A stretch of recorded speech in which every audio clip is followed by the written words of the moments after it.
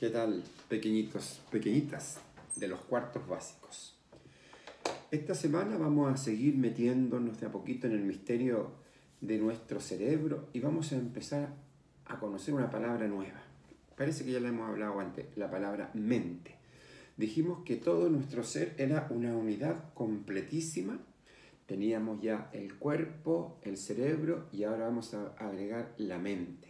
Cuerpo, cerebro y mente son una unidad. Se llama una unidad pequeña o menor también, porque hay otra mayor, que es incluyendo el medio ambiente, o sea, todo lo que pasa alrededor de nosotros que también nos afecta. Y entonces tenemos que ir manejando lo que tenemos en nuestro interior y lo que tenemos en nuestro exterior. Hoy les he mandado la lección número 11, que lleva como Alimentando nuestra comunicación. Nuestra comunicación con el exterior es posible gracias a la mente. El cerebro, como dijimos, se preocupa de todo el bienestar del cuerpo, completamente, está vigilándolo durante las 24 horas. Entonces, en esta lección, en la número 11, vamos a descubrir cómo todo el cuerpo es también generoso con nosotros para que nosotros podamos darle una energía muy especial a esto nuevo que vamos a empezar a conocer, que es la mente, que está por sobre todo nuestro ser. Aquí, en esta hojita, yo les voy a, eh, ya les escribí, ¿no es cierto? Por ejemplo, dice por ahí, la mente es la capacidad de tomar decisiones, o sea, de elegir.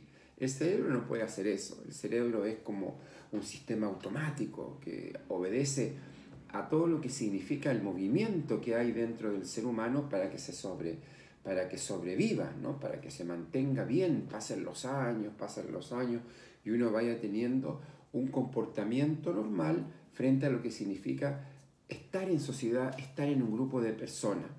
Hoy básicamente, o lo interesante de esta lección es llegar a la comunicación. ¿Qué es lo que es comunicación? Es poder establecer relaciones con otras personas como nosotros, con otros, con otros seres humanos. ¿De acuerdo? Bien, les incorporé dos videos, ojalá lo vean, son muy cortitos, son especial para niños y además les incorporé dos fantasías, láminas como de fantasía para que vean en forma eh, gráfica, concreta, cómo podemos nosotros entender la mente. En el primero hay un cerebro que tiene un jinete que va arriba con la rienda ahí manejando el cerebro y eso es un poco la mente también. Y abajo, también como una fantasía, el cerebro metido en una ampolleta. Es decir, que el cerebrito está tranquilito adentro, pero la ampolleta, la mente, es la que nos permite tener una relación con las demás personas. Y como siempre, las preguntitas de abajo son súper importantes. Otra vez no traje el cuaderno, pero no importa, ustedes tienen su cuaderno, colocan ahí lección número 11, actividad 1 y van lentamente eh, escribiéndolas. Acuérdense que hay que escribir bien, tienen que fijarse bien ahora que hay tiempo, escribir las preguntas, poner los signos de interrogación y después en la otra hojita al frente colocar las respuestas que son súper importantes. Miren, aquí tengo el cuadernito este cuadernito que es súper importante. Yo le hago un recuerdo ahí en la hoja de hoy de la lección 5. ¿Se acuerdan cuando vimos la lección 5?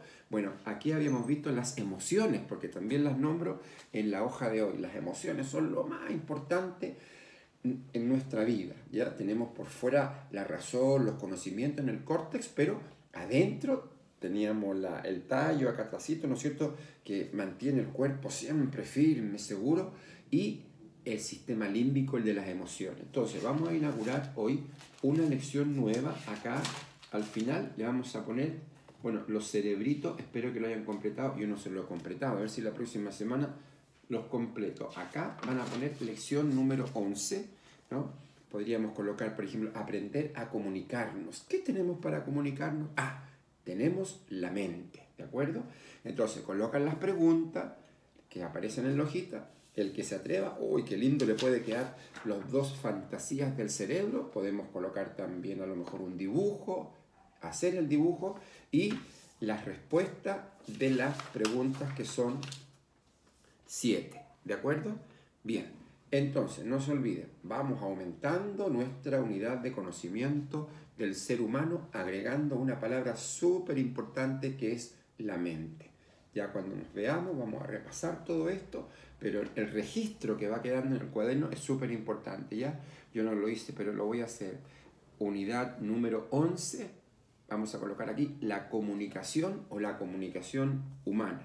Con eso vamos ya a ir eh, completando aspectos básicos para que luego vayamos redondeando todo lo que hemos visto. No se olviden, la semana pasada vimos una especie de evaluación con los dos cerebritos que son también muy importantes recordar que son como independientes, que dijimos que el estómago y dijimos que era el corazón y que aquí atrás teníamos una cantidad de nervios que, estaban que eran como secretarios y que se conectaban directamente con, e, con todos los, los, sentidos también. Vamos a conocer el nervio del olfato, el nervio óptico, en fin, y vamos a ir de a poquito metiéndonos en algo espeso, que es la biología de nuestro cuerpo. ¿De acuerdo? Chao, chao. Saludo a las mamás. Ah, he recibido muchos saludos, así que muchas gracias a las mamás y los papás que me han mandado esos saludos. Chao, chao.